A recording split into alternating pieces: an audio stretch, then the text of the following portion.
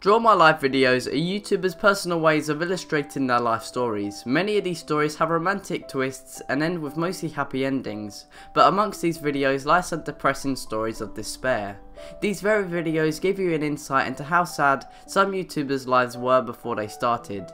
Here are the 5 saddest YouTuber Draw My Life videos. Markiplier to this day is one of the most successful YouTubers on the website with over 10 million subscribers and his very own diamond play button. However, before he found success in his life, he tells his very sad life story. The illustrations start out cheerful until Mark describes his father's final words, which leaves Mark depressed and speechless until the video continues. I really wanted to do something special for the 1000 subscriber milestone, or not 1000 subscriber, 1000 video milestone. And uh, my father bought, brought me some bad news. Uh, he, he put a piece of paper in front of me and uh, just let me read it without saying anything. And I, I was a pretty smart kid, so I understood every word that it said, all the techno mumbo jumbo. But the main thing is that um, in basically big bold letters, it said cancer and the really bad kind of cancer.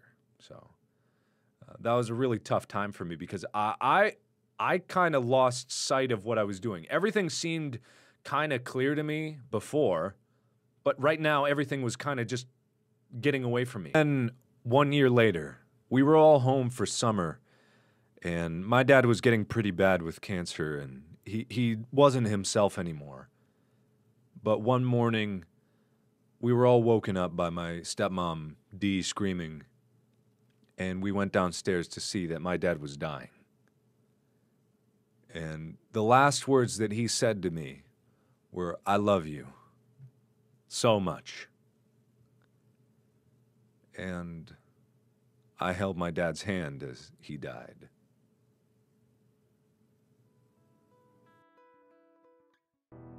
Ryan Higa owns the YouTube channel NigaHiga, which is one of the most popular channels on YouTube, but after watching his Draw My Life video, you too will understand that Ryan's life has been one which has been riddled with bullying and been second best to his brother. Ryan describes how he overcome his depressing life and became one of the most successful YouTube channels on earth. So I was never going to do a draw my life video because to be honest, I personally don't think my life is nearly as dramatic or interesting as some of the other draw my lives that I've seen. I also have an older brother who I've always felt competitive with my whole life. He was always better than me in everything. He would beat me in challenges, competitions, video games, and of course he was naturally gifted in judo. Fifth grade, I moved schools for middle school. Sixth grade was specifically a terrible year for me. Not only did I lose all my friends because it was a new school, but because it was a charter school, we all had to take tests to see where we would be placed, I guess, and for some reason I got placed with the older kids. At the time, I thought this was a good thing because I thought older kids would think I'm cool because I skipped a grade. However, it was pretty much the opposite. So this is the part of the story that most of you don't know about because I never really addressed it publicly, but I know a lot of you watching this can relate. So I got bullied a lot. You know, nothing really crazy, just your typical getting pushed down to the ground, being made fun of for no reason. And yes, I remember every single one of them, including the worst of them. Again, not gonna use a real name, but we'll call him Richard. Because as you know, another name for Richard is Dick. See, Dick was such a Richard to me that I'd actually make excuses to my mom why I couldn't go to school or why I needed to change schools. So I was hating life at the time and wondering why someone so mean could be so popular by picking on me. It even got to the point where I had some darker thoughts at the time that I think most, if not all teenagers go through at some point in their lives. Or perhaps it was just puberty messing with my head, I don't know. However, I was able to stick it out, and I actually found a way to end the bullying on my own terms. I noticed that the reason Dick was bullying me was to make people laugh, so I figured that if I could make them laugh and become the funny guy, they would stop treating me like I was less than them. Being depressed and feeling sorry for yourself is easy. I challenge you to change that today. Happiness is a choice. Choose to be happy. Choose to better your life because only you can make that decision. You are not less than Jenna Marbles' Draw My Life story is a lot different from most others because as she was telling tales from her past, she was also trying to overcome one of the biggest and saddest moments in her life. As while making this video, she had recently broke up with her longtime boyfriend and explained she doesn't know what to do. Fortunately, this was a long time ago and Jenna is doing a lot better to this day. My name is Jenna Marbles, and I'm going to draw my life. When we were little, my parents got divorced, but that worked out alright because my dad remarried, and his wife has big boobies that I would put my face in when I was sad, and my mom's been with her boyfriend for like ever, so everyone wound up pretty happy. In ninth grade, I met this boy named Willie in gym class, and we wound up dating each other for four years. And we eventually broke up to go to school, but that was really nice. Field, and I was so sad and confused. And then one day I was locked out of my apartment, and this boy was moving in upstairs. And I was like, I've never seen you here before. And he was like, I've never seen you here before. I was like, uh, that's because you're moving. All right, whatever. Uh, you're weird. I gotta go. And so I jumped in through my window, and he just stood there and watched me. But I guess that was endearing because we dated. And we even started a little dog family together and moved in and had a family. Except I realized that it wasn't really making me happy and I wanted to make videos. And he sort of knew that too, but we could never see eye to eye and sort of ended badly. But. And then I was back to really sad Jenna. No job, no direction, don't know what I'm doing. So I just decided to make videos again after six months of not doing it because that's all I liked doing. And then I found the YouTube community, saved up enough money, and asked Max to go with me, and he did. And so we moved to Sunshine Land. But as you guys know, Max and I broke up about four months ago. And it was really sad, and it's been really hard because I don't really know anyone here. But life is complicated, and never know what's going to happen. But if it's meant to be, it'll be. And if it's not, it won't. But now I'm sad Jenna again, and I don't know what I'm doing. And I think if I had it all figured out, I would be doing something wrong because I think it makes it so that you can't grow. And you have to be confused in life, or else you won't grow. But all I know is that YouTube makes me really happy. Boogie2988 has definitely been handed a short stick in life. His life story is riddled with despair and family lost, and after it seemed like it would never stop, Boogie found a light at the end of a tunnel, and tells his story of finding hope when all seemed to be lost. What's up, ladies and gentlemen of YouTube Boogie? I grew up in the southwestern part of Virginia in a small town called St. Paul. My mother was a teacher, but she was always very sad, and not only was she sad, but she was pretty angry about her life and everything that had happened up till then. My brother went off to college, which left me alone at the age of nine with my crazy, angry, depressed family, which really kind of sucked.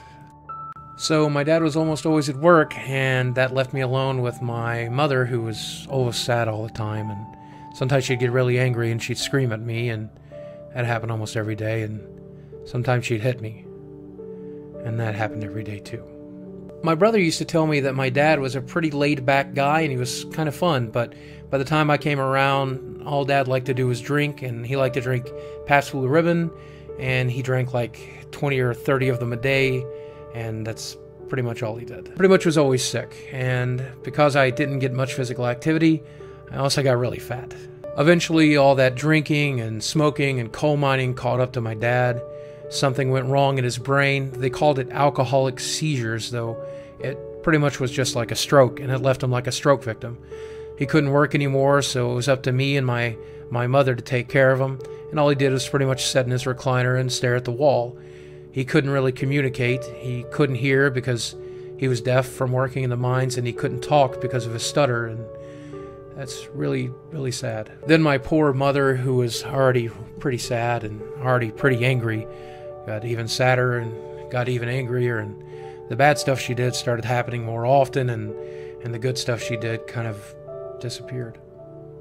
And as you can imagine, all this made me really, really sad. I didn't really have any friends at school either, which kind of sucked. The kids at school would call me fat or, or ugly or gross, and life just kind of went on like that for years. I was always pretty sad, and people were always kind of mean to me, until eventually I was fatter than I'd ever been.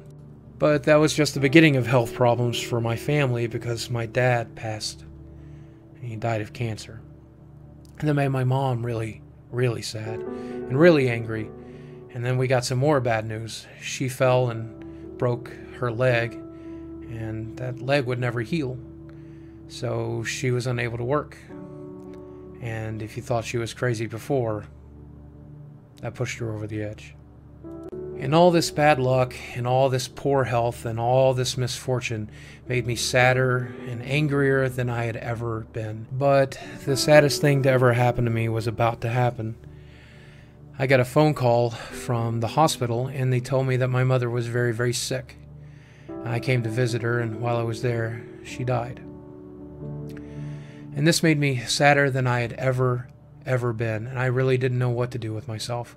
So that Christmas, I made plans to kill myself. But I didn't. I didn't because of my friend Adam. I didn't because of YouTube. I didn't because of you.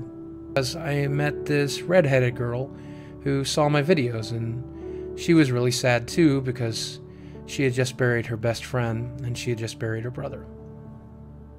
And we started talking, and it was awesome. We were really interested in each other. I owe you my life. And finally, YouTuber GayGod is of course a homosexual YouTuber who tells his life story of how difficult it was to come out to his mum about being homosexual. Unfortunately, his mother reacted in the worst possible way and was not supportive at all, which made Matthew very sad. Hi, my name is Matthew Lush. I became anorexic and was 5'10, 115 pounds. Till one time I fainted and woke up in a puddle of my own blood. I must have hit the edge of the coffee table or something. At age 14, I found my first boyfriend two weeks before Christmas. I decided to tell my mother I was bisexual. She called me disgusting and made me feel like I was worthless. She beat me with model cars I had on my dresser and her steel toe boots. She even shattered the mirror over me and ran out crying. I woke up that Christmas to find no presents. She took everything back, all but a smiley blanket she got on clearance at Walmart, which must have been non returnable. I started coming out to my friends, and they all started not talking to me.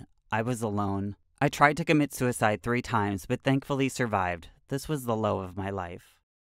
Thanks for watching everyone and tell me what the hardest moment of your life was in the comments section down below if you don't mind sharing and don't forget to subscribe if you're new around here. Goodbye.